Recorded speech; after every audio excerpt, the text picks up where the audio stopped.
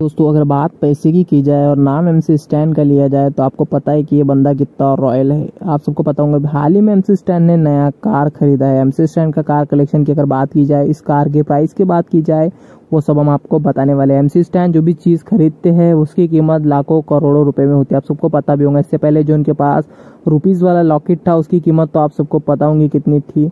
जो गले में चीज़ पहनते हैं, या फिर वो वॉच पहनते हैं, या फिर वो शूज़ ही उनका अगर बात की जाए तो कितना महँगा होता है। अगर फ़िलहाल इस नए कार की बात की जाए तो डिफेंडर जो है उन्होंने खरीदी है और बताई जा रही है इस कार की कीमत 1.5 करोड़ रुपए बताई जा रही है। फ़िलहाल खबरों के मुताबिक तो यही जो है प्राइस पता चली है। लेकिन आपको क्या लगता है एम सी स्टैंड ने जो डिफेंडर खरीदा, उसकी प्राइस क्या होंगी? आप कमेंट्स में आपकी राय ज़रूर देना।